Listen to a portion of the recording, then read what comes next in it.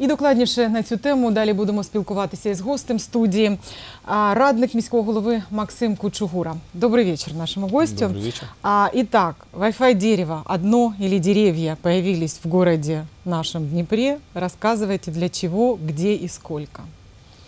А, да, м- можно сказать, появились и появятся. То есть на сегодняшний день Если уже будем поливать. установлено, безусловно, установлено одно Wi-Fi дерево, оно находится на Европейской площади. А, Уже, наверное, большая часть жителей города его увидела и даже протестировала, наверное. И еще два дерева будет в двух других локациях, с которыми сейчас решаются организационные вопросы по подключению электроэнергии. А, Сами деревья – это такая инновационная конструкция, э, уникальная в своем роде, потому что в мире аналогов нет, и Днепр – первый город, который имеет именно такую конструкцию в эксклюзиве. Есть э, аналоги в Арабских Эмиратах, в Соединенных Штатах Америки. Мы уже гордимся. Да, мы уже гордимся, Уже. потому что у нас же город всегда выделялся, и вы же знаете у истории ЮМЗ, ракетостроения и так далее. Поэтому на сегодняшний день инновационные гаджеты – это такой первый э, шаг, который, наверное, делается со стороны э, властей, можно даже сказать, где-то в масштабах и Украины, потому что есть э, одно Wi-Fi дерево, э, два Wi-Fi дерева в Украине, но они очень отличаются по функционалу и, скажем так, по нашему мнению, уступают по технической начинке. Что Вот. же в нашем дереве такого крутого, как в Арабских Эмиратах, вот что оно так сильно отличается?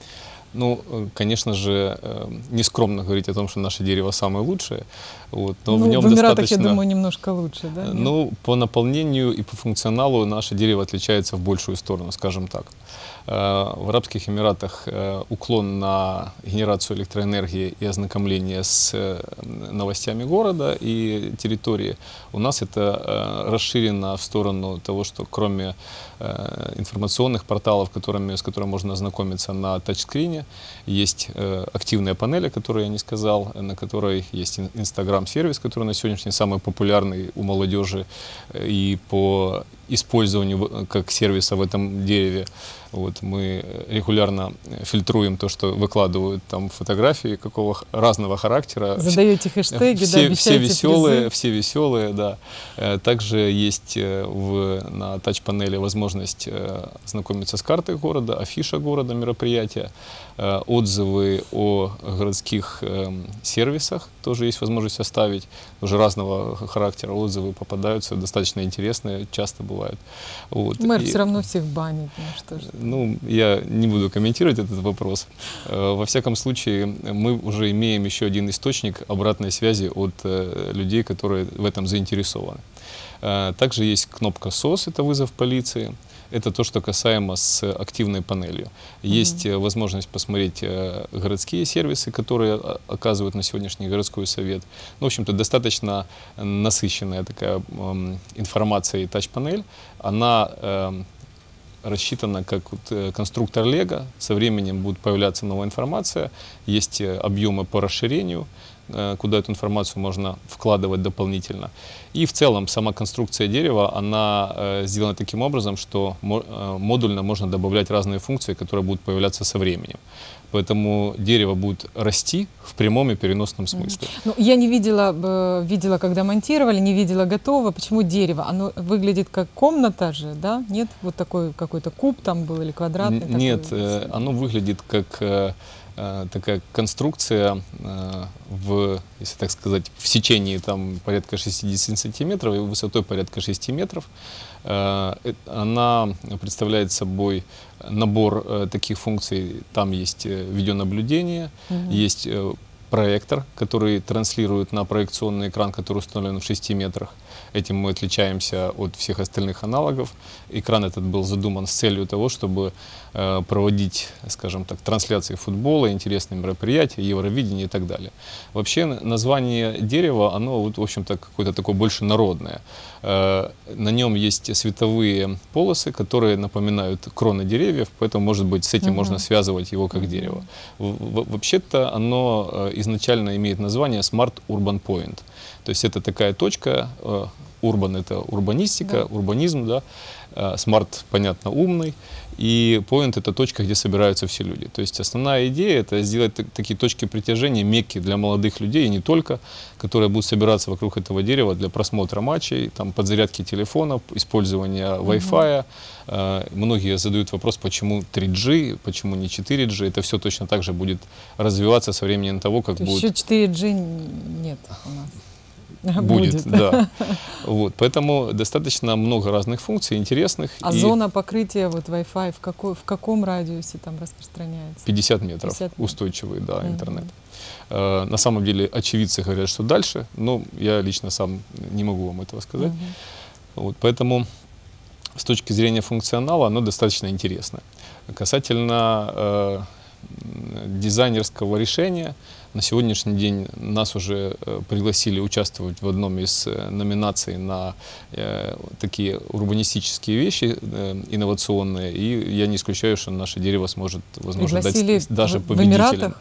Нет, не в Нет? Эмиратах, это конкурс в Украине проводится, и заявки были поданы еще на несколько международных конкурсов. И я думаю, есть высокие шансы того, что это будет популярно, и, может быть, наш пример в Днепропетровске, он будет расширяться и за пределы нашего города.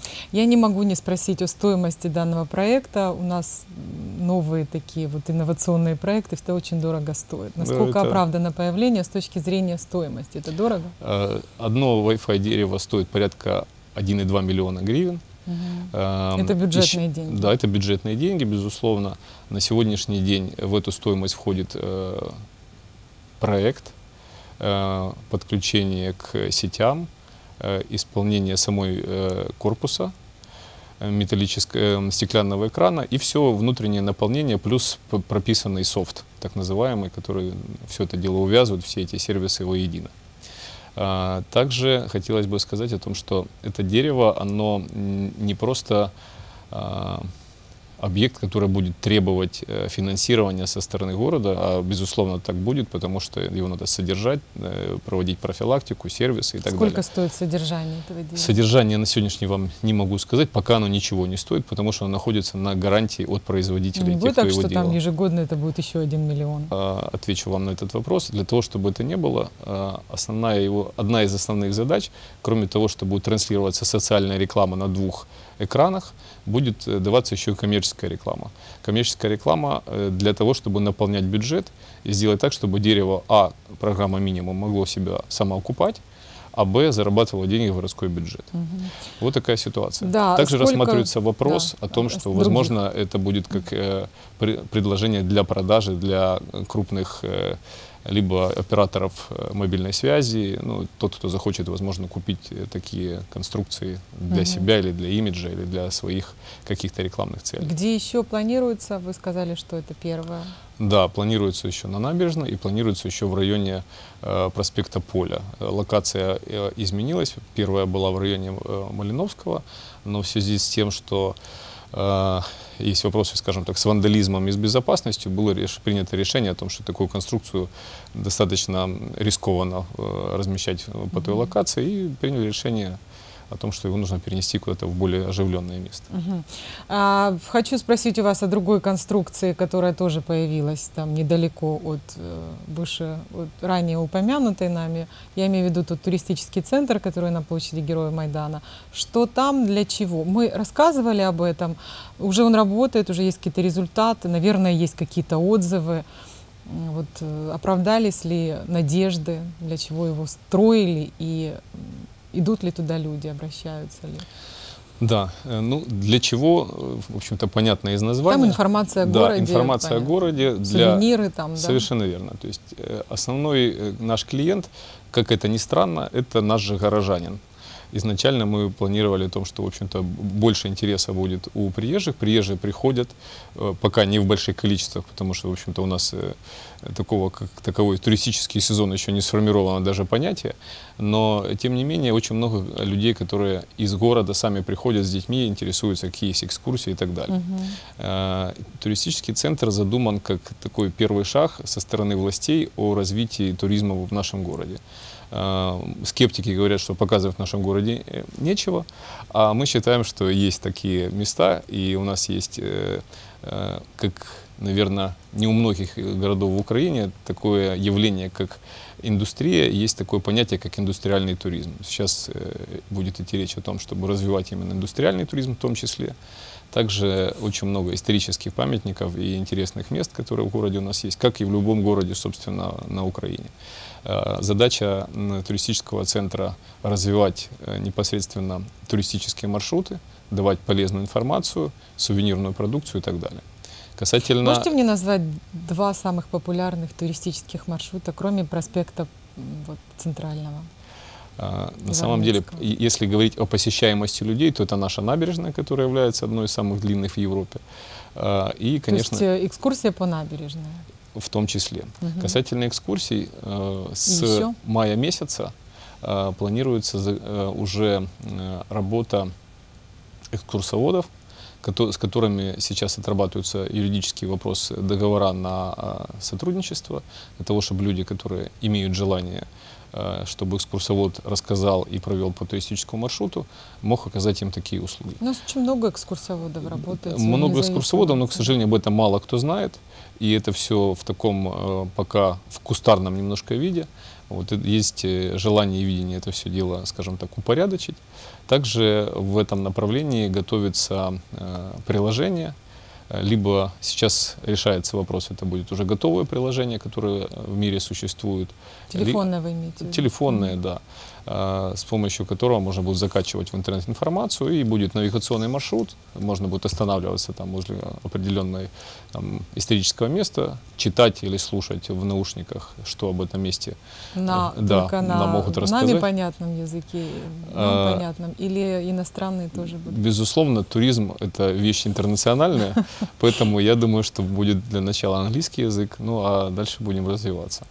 Если у вас есть пожелания по каким-то языкам, вы можете сказать. Мы чем больше языков, тем больше туристов уже, понимаете? Конечно, согласен с вами, да. Естественно. Касательно еще немаловажного момента, стоит задача перед э, туристическим центром тоже не быть обузой для бюджета и формировать, э, э, скажем так, и размещение рекламы на сегодняшний день тоже происходит. Я не буду называть компанию, но достаточно известные компании уже заключили договора на обслуживание, размещение рекламы на интерактивной панели, угу. э, на раздаточных материалах. И планируется без привлечения э, бюджетных средств э, раздавать бесплатные разда раздаточные материалы. Это карта. Ну, если в Европе вы бывали, то вам часто в гостиницах дают карты, на которых с одной стороны карта с туристическими маршрутами, с другой стороны реклама. Угу. Вот по такому же принципу ничего нового это планируется сделать и в нашем городе. Поэтому сейчас ведется работа проект-менеджером э, относительно этого вопроса и собирается информация о ресторанах, гостиницах, музеях и так далее. А одного достаточно или их тоже будет много туристических? У нас же все-таки два берега, Начнем с одного, у нас да. большой город. А есть какие-то отзывы уже о работе? Вот что говорят горожане? Интересовались вы? Мнения, как всегда, очень разные. Э, многие люди... Что есть отрицательные? Безусловно, да? конечно, И, да. А, э, э, для кого-то это вещь, которая, ну, скажем так, не приоритетная, говорят о дорогах, угу. о текущих крышах и так далее. Но э, я считаю, что общество должно развиваться полноценно во всех направлениях, потому что если так к этому вопросу подходить, надо закрыть театры, кинотеатры и заниматься только вопросами коммунальных, э, коммунального характера. А очень много туристов, причем удивленные, о том, что вот э, как бы есть такая ситуация в нашем городе, есть такой пункт.